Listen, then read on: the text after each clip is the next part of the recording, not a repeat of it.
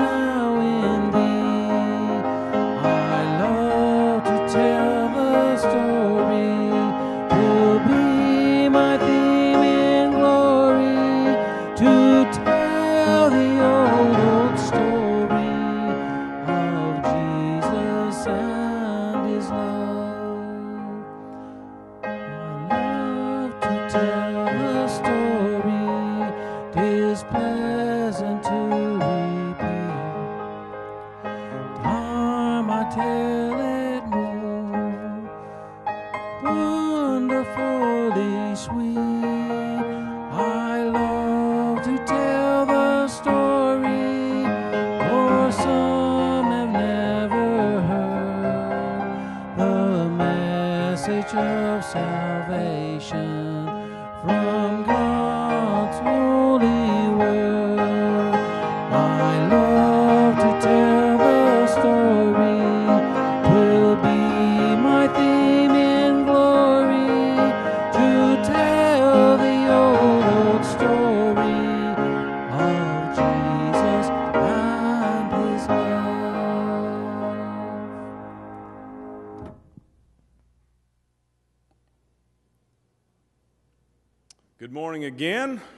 We'll start us off with a few announcements. Um, as you know, this is the way we'll be meeting um, until further notice, and, and I'll say from all the staff and all the production team, we sure do miss you guys. It's not the same. Church isn't the same with, with just us, so we miss you. Know that we miss you, and we hope we can get back together soon. Vacation Bible School is going to look a little bit different this year. Uh, we'll be having it on Facebook Live. It will be August the 2nd through the 5th and run from 6.15 to 7 o'clock each night. We need everyone to make a reservation um, or to, to pre register rather, so that we can um, have a family VBS kit for you. Kits will be available to pick up starting July 27th. Um, and check out new, the, the weekly news blast for registration information. Um, the next food collection for a simple gesture is scheduled for Saturday, August the 15th. Um, this is a vital program to address food insecurity in High Point, and all of the food that we collect um, supports food, pan- food pantries in High Point. Um, if you're not a part of this ministry um, and would like to be, contact uh, David Lees. Um, the youth have begun to meet um, in home at, at, people's homes in their yards, outside and six feet apart. Um, if you would like to participate in that. Tonight, we're going to have watermelon with Willis. Um, Pastor Willis is going to come, and she has agreed to participate. At least I think she has agreed to participate in a watermelon eating contest. So um, we'll see how that goes. Um, uh, that's tonight, and then we're also serving at West End Ministries this week, Monday, Tuesday, and Thursday. Um, that is in the youth email that we send out. Um, it's also in the text. But if you did not get a part of, get that information and would like to be a part of that, contact me um, either on the church phone number, um, my church phone number, which is 336 812 4365, or you can email me. At this time, I'm going to call Miss Myers forward for children's time. Just tell you, normally in the summertime, we're all scattered about and we're traveling. And traveling takes a lot of preparation. So, my family would probably say that Miss Myers is what you might call a, a hotel snob. I'm pretty particular about where I stay when I travel on vacation. So, um, I am one of those that loves the TripAdvisor app. You can go on the TripAdvisor and it rates every place that you can stay. It gives them stars and there's all kinds of reviews. And so when I start planning my vacation, I have some criteria. The first thing I want is a hotel that comes with a hair dryer because I don't want to pack my hair dryer because if I don't pack the hair dryer, I can pack an extra pair of shoes. And you know Miss Myers and her shoe thing. Um, I like to have a hotel that serves a hot breakfast, and I don't want fake eggs and I don't want fake bacon. I want my covers to be those real fluffy ones that when you come in at the end of the day, you just, you just plop down and they feel so good. And I want to have air conditioning that I can really crank it back and get it good and cold. And I want a hot shower and I want it to be clean. And I don't want it to be a place that um, you, you can get in from the outside. I want to walk into the inside of the hotel where it's safe and then go up and get into my room. So I'm pretty particular about my hotel. And if I was taking you guys with me, of course, we'd have to have a swimming pool because everybody needs a pool at the hotel. So it's a good thing that a long, long time ago, when Jesus was calling the disciples, that there wasn't a TripAdvisor app. And you know what? There's even some reference in the Bible about people being concerned about where somebody might be staying. You know, that's one of those things too. When you plan a trip, the first thing anybody asks you is, Well, where are you staying? And you got to tell them. So today in our scripture, the Bible says that the next day John was there again with two of his disciples. And when he saw Jesus passing by, he said, Look, the Lamb of God. When the two disciples heard him say this, they followed Jesus. Turning around, Jesus saw them following and asked, What do you want? And they said, Rabbi, which means teacher, my friends know that. Where are you staying? Where are you staying? Oh, that's the part right there where it's a good thing Miss Myers didn't have the TripAdvisor app and she started rating where Jesus was staying because I guarantee you there was no hair dryer, there was no swimming pool, and I doubt there was any fluffy sheets. I might would have seen that where Jesus was staying wasn't a four star. I might would have read reviews and backed off and not wanted to go where Jesus was staying. But you know what happens? Jesus says, Come, and you will see. Come on, go with me and see where I'm staying. And they went. No review checking, no concern about where he was staying. They just went. And when they went, they spent the afternoon with him. And then Andrew, Simon Peter's brother, was one of the two who had heard what John had said and who had followed Jesus. The very first thing that Andrew did after going to where Jesus was staying was to go find his brother Simon and tell him. And when he finds him, he says, We have found the Messiah. And, brought, and then they brought him to Jesus. How lucky were we way back when? That when Jesus started to call his disciples, and Jesus walked on this earth, that people didn't care where he was staying.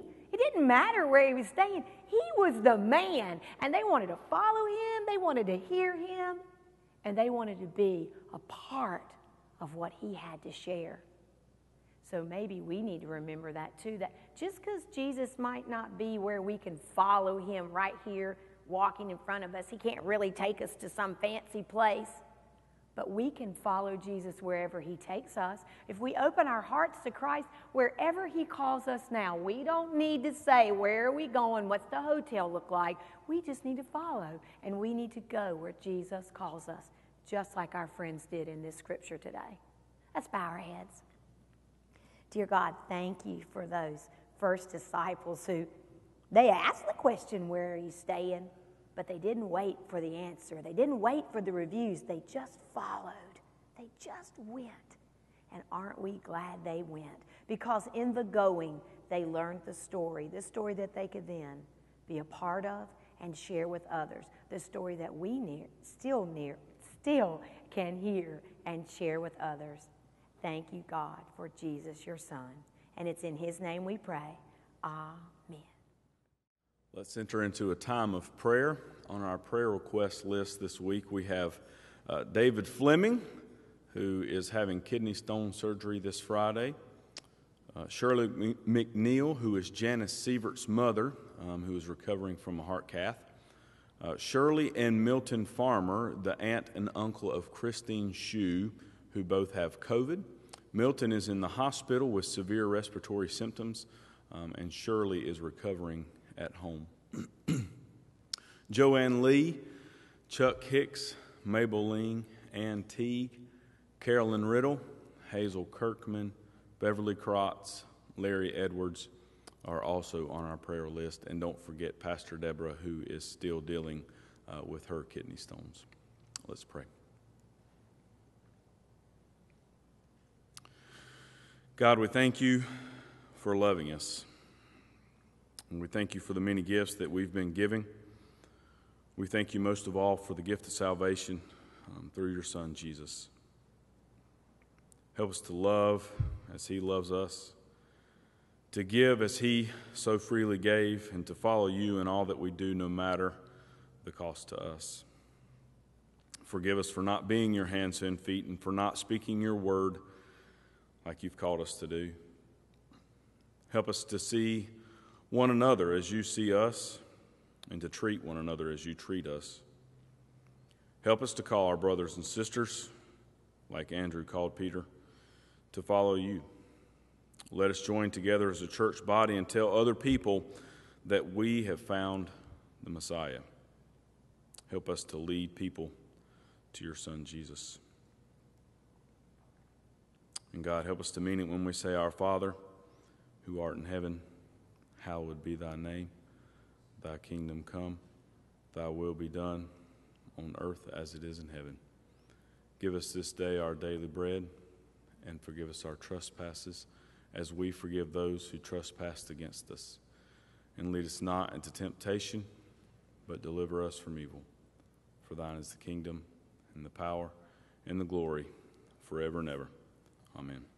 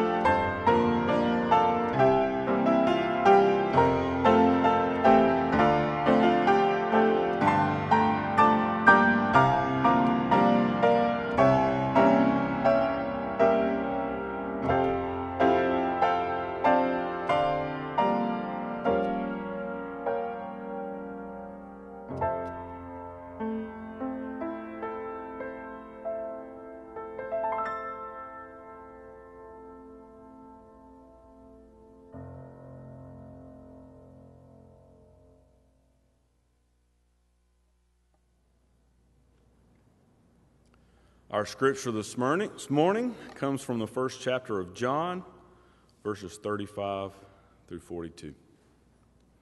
The next day, John was standing again with two of his disciples.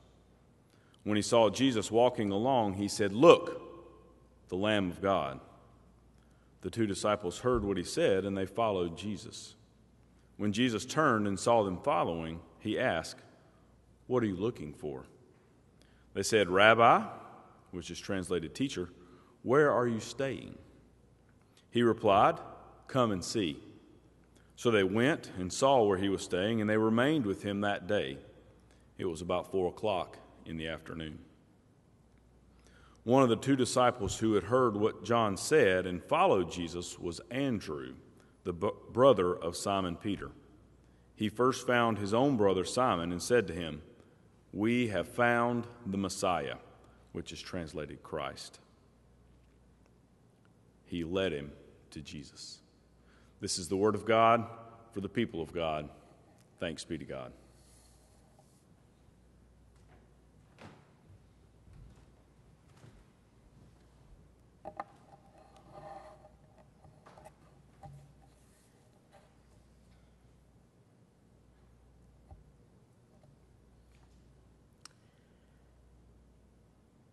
Frank Lloyd Wright, the famous architect, once told of a lesson that he learned from his uncle.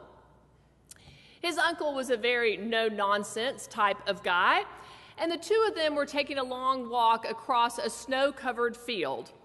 When they reached the other side, his uncle said, Now I want you to look back at our two sets of prints. See how your footprints go back and forth, and, and from the trees over to the fence, and then back to the fence, and then over there where you were throwing sticks. But now notice my footprints. My path comes straight across, directly to my goal, and you should never forget this lesson. And Wright never forgot it. He said, I determined right then that I would not miss out on things in life as my uncle did. How many of us have a little bit of that uncle in us? We set our goal, we know where we are headed, we set out determined to reach our goal, and then we forget to stop and smell the roses along the way. Look, we all need routines. Routines give us rhythms, but sometimes those routines get us into ruts. And I like the saying that to choose your rut carefully because you may be in it for a while. What happens in those ruts is that we become blind to new possibilities and creative pathways. Well, in today's scripture passage, Jesus challenges some of his early followers to break out of their ruts and to try something new. Now, at the beginning of the passage, they are not Jesus' disciples yet. They are John's disciples. You see, during that time, there were many religious leaders, and to be a disciple simply meant that you were a student, you were a follower, you were a learner. Well, John the Baptist was a religious teacher who had disciples. And so picture the scene. John the Baptist is standing there with two of his students, two of his disciples, Andrew and the other one. They're standing with their teacher, and then Jesus walks by. And John points to Jesus and says, There goes the Lamb of God. And I imagine that John's disciples then look at each other and then look at John, and they're probably thinking if our teacher, our mentor, just professed that that gentleman is the Lamb of God, why in the world are we still following John? And before you know it, John loses two disciples, boom, like that. And they start to follow after Jesus. They begin to follow Jesus. They follow him down the road. And, and I wonder how they followed him. I wonder how long they sort of hung back until Jesus noticed. I wondered if maybe, like, you know, when you spot a celebrity, but you're not real sure if it's a celebrity and you want to give them some space and you don't want to hover. So, did they hang back, try not to be seen? Or did they follow really close on to Jesus' heels and, and maybe sort of clearing their throats, like, like just trying to work up enough nerve to approach him? But Jesus finally notices them And he turns to them and he says the first words that are recorded in the Gospel of John. The first word Jesus speaks in the Gospel of John are these He turns to them and he says, What are you looking for? What do you seek? Jesus asked the question, What do you want? Be honest. What are you after? What are you looking for? Now, if Jesus were to ask you that question, how would you answer? If Jesus were with you this morning, sitting beside you, wherever you may be, maybe still in your robe, watching online, maybe on your screened in porch or in the den, and Jesus was there with you, and Jesus turned to you and looked you in the eyes and said, What do you want? What are you looking for? How would you answer? What do I want? I would like some normalcy in the midst of this pandemic. I would like to meet this congregation in person. On a deeper level, I would like wisdom and a discerning heart. What about you? What do you want? If Jesus were to ask you this question, how would you answer?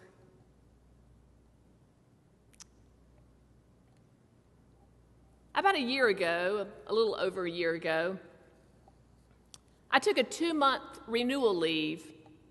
I'd been in ministry for almost over 20 years, and I had never done it before. And United Methodist pastors are given this opportunity every seven years to take a spiritual renewal leave, but I'd never done it before. But, but this had been a busy season in the life of the church I was serving.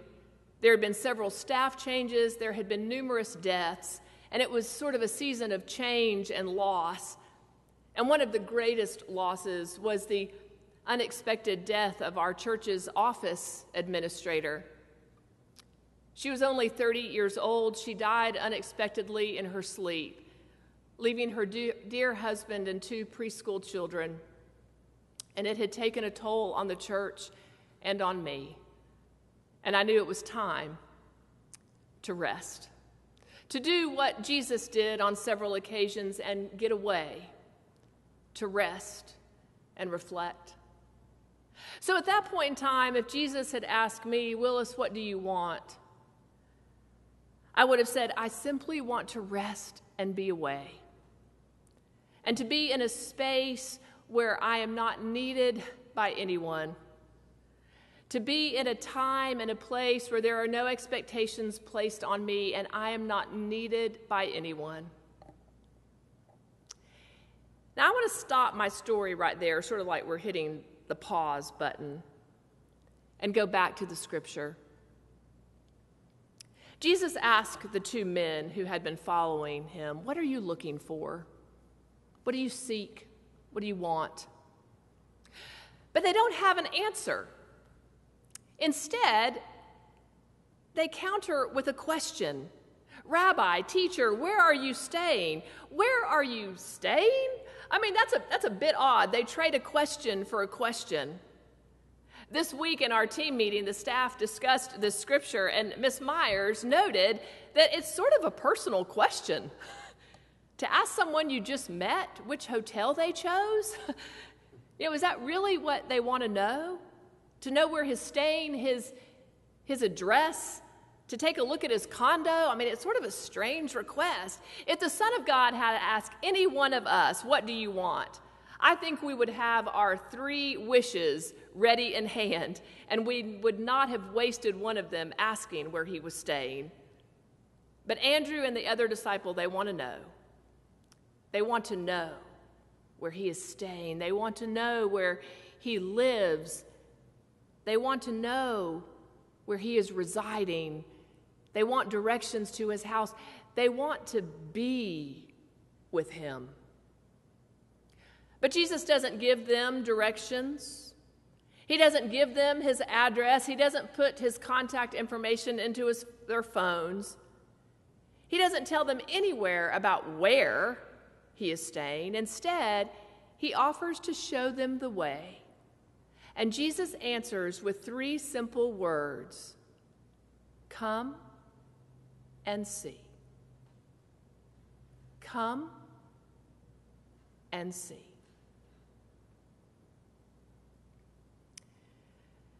So let me tell you what happened on the first day of my spiritual renewal leave. This time that I was hoping to, to get away, to have a break, to have a break from being needed. On the first day, I was flying home to Dallas, Texas to visit my mom and family and friends. And my flight to Dallas was not a direct flight, I had a layover in Atlanta. Now, here's something you need to know about me I love to fly, I love the anonymity of it. When I travel, I really don't want to talk to many people. Now, I am friendly, don't get me wrong, I'm friendly. I just don't really want to engage in long conversations with strangers. So I load up my Kindle with a few good books. I download some episodes of Call the Midwife. I get my snacks and my bottle of water, and I am good to go. Well, on the flight from Charlotte to Atlanta, I was on an aisle seat, and the two people next to me talked the entire time. And I remember thinking, thank goodness they're not talking to me. I get to Atlanta, I make it to the next gate. Now, another thing that you need to know about me is I like to board last. I would rather stand around the gate area where I can walk around with a lot of room rather than standing in a crowded aisle on an airplane waiting for people to put their luggage in the overhead bins. so when I boarded that plane, that plane was full, it was packed. And as I'm walking down the aisle, it dawns on me that I have forgotten to log back on to the internet and reserve a seat. And I'm thinking, oh my goodness, I never do this. Oh my goodness, I know this is what's going to happen. And I glance at my boarding ticket and I look at the diagram over the seats and I realize I am in a middle seat a middle seat, my least favorite seat on an airplane. And then I continue to walk down the aisle and I see it. I mean, there's a gaping hole because the plane is packed. And there on the row is an empty middle seat. I see it. The guy near the window, he's got on like a muscle t shirt. He's sort of well built. He's got on dark glasses. The woman on the aisle is a young, attractive woman, and I think, well, this is good. We're, we're all going to be comfortable here. But I get up to the row, and they are talking to each other. And I point to the seat, and I said, I think that's mine. And the guy next to the window says, She is so glad you're here because I've been talking her ear off. and so I take out my Beats headphones before I even sit down, and I put them around my neck.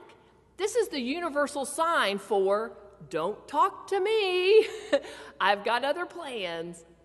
But he was talking, and before I even got my seatbelt on, he was telling me that he was leaving his wife of 19 years because she had had an affair. And I'm thinking to myself, do you not see this universal sign around my neck? I'm about to watch something on my Kindle. I'm about to put these headphones on. but he had a universal sign of his own. Because there in his seat pocket was a folded up white cane with a red tip at the end. My seatmate was blind. Now, I'm ashamed to admit this, but the first thought that ran through my mind was really, God, you've got a great sense of humor because this is the first day of my leave. The first day, all I wanted was not to be needed by someone, and you sit me next to him. Come and see. And before they had even closed the cabin doors, he had told me about his wife's affair and how he had to say goodbye to his 11 year old daughter, and how he was unable to live by himself because of his blindness, and he was flying to Dallas to live with his mother and his sister. He had a great attitude about it. He would say quite often, I know I'm talking your ear off. I know I sound like I'm crazy, but God has gotten me through this. And he talked a lot about God and about his faith in God and how God had been looking after him and how he had been blessed along the way and that God had given him strength. And all of this before we had even taxied down the runway. when the announcement was made to put electronic devices on airplane mode, he pulled out his phone. And he said, I know I'm supposed to do this, but I, am not real sure that I, that I can see to do it. And I was really surprised that he even had a phone. And so I said, Well, obviously you can see a little.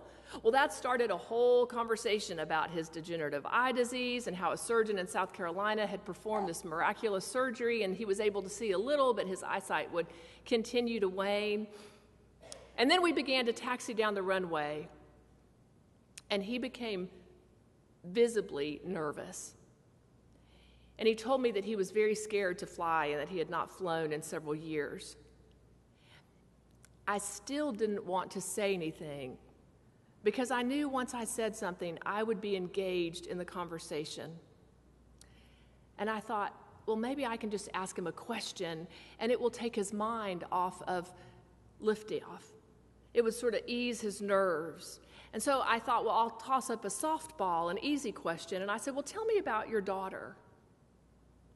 He was so nervous that he couldn't answer. So I thought, okay, I'll make it really easy. I'll ask a specific question. I said, Does your daughter play sports or does she play an instrument? And he said, She plays the guitar. I taught her how to play the guitar because I play in the praise band at my Methodist church. Oh, really? I just kept quiet.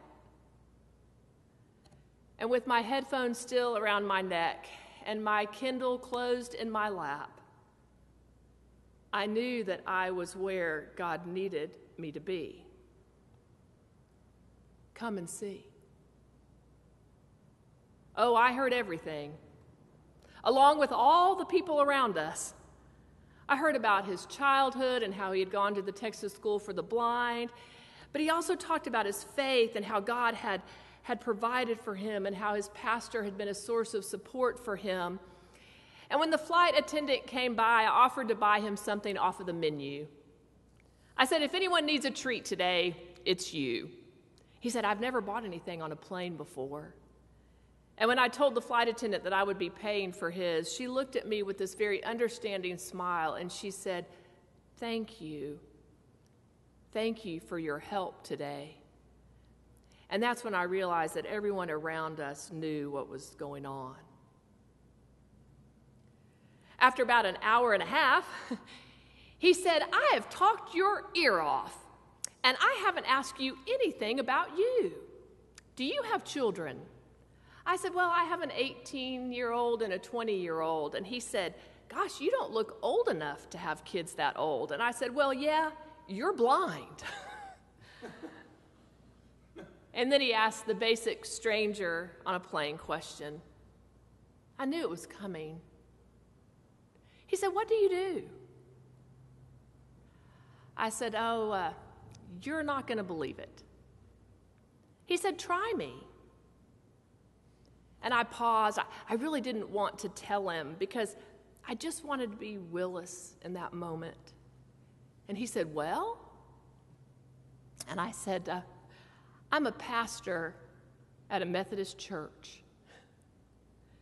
And he said, I know God sent you here today. You were just what I needed. And I said, Well, you were just what I needed. Come and see. We laughed for a minute. He said, uh, When you wouldn't tell me what you did, I thought maybe you were a dancer at a nightclub. I said, Nope, I'm, I'm not a dancer. I'm just a follower of Jesus. A follower of Jesus who wanted time away from being needed. But God said, Come and see. And what I need from you, Willis, during this leave is for you to put aside any preconceived ideas that you have. And God said, I need you to get yourself out of the rut of what you think you need and put yourself in the middle seat. Come and see. And that, my friends, is how I approached my renewal leave. I would wake up each day just wondering where that middle seat might be, the place where I would come and see Jesus. And God's presence was just thick throughout those weeks. I could see God's fingerprints on everything. When I set aside my need to control and my need to have my pathway straight, God said, Put yourself in the middle seat.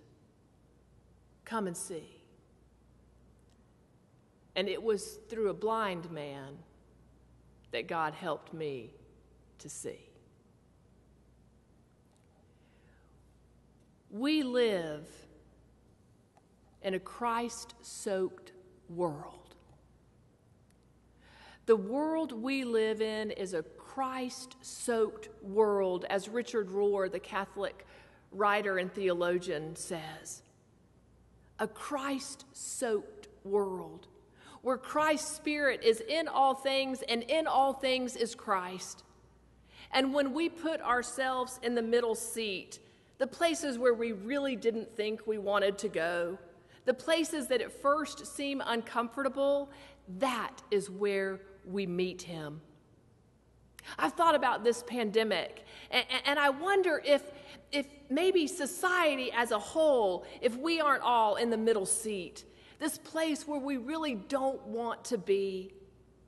And I wonder if we could just let go of our desire to return to the old ruts and see where Christ is in our midst. Come and see, Jesus says. Come and see. That's what Jesus tells the first disciples. And the remarkable thing is that they did. They weren't too controlling, they, they weren't too stuck in a rut. They left everything behind and they followed Jesus. And they stayed with Jesus the rest of the day. No one knows what they talked about or if they talked at all. It's not recorded in the scripture. But what the scriptures do tell us is that when the disciples left Jesus, everything had changed. And you know how we know? Because at the beginning of the story, do you remember what they call Jesus? They called him rabbi, which means teacher. But at the end of the story, after spending time with him, what do they call him? Messiah, the Lord. And it was by staying with him that they discovered who he was. It was by staying with him. And maybe for us, it's putting ourselves in that middle seat Come and see, said Jesus, but it is not always easy because sometimes we pack our bags with gummy bears and we load up our Kindle and we pack up our headphones and we have other ideas of what we would like to do and where we would like to go, and it's not always easy to follow Jesus. Dietrich Bonhoeffer once said, When Christ calls a person, he calls that person to die. There are a lot of deaths, dying to ourselves, that we experience when we follow Jesus. Because you see, following Jesus is different than believing in Jesus. In church, we talk a lot about believing in Jesus. We ask people, Do you believe in Jesus? We ask people when they join the church, when the confirmation class stands before this altar, we ask them, Do you believe in Jesus? When ordinands at Lake Junaluska stand on the stage, the bishop asks them, Do you believe in Jesus? But no one ever asked me, Willis, are you willing to follow Jesus? Because to follow Jesus means to come and see and to live life in that middle seat and to let go of preconceived ideas and our need to control and to allow God's Spirit to work in us and through us.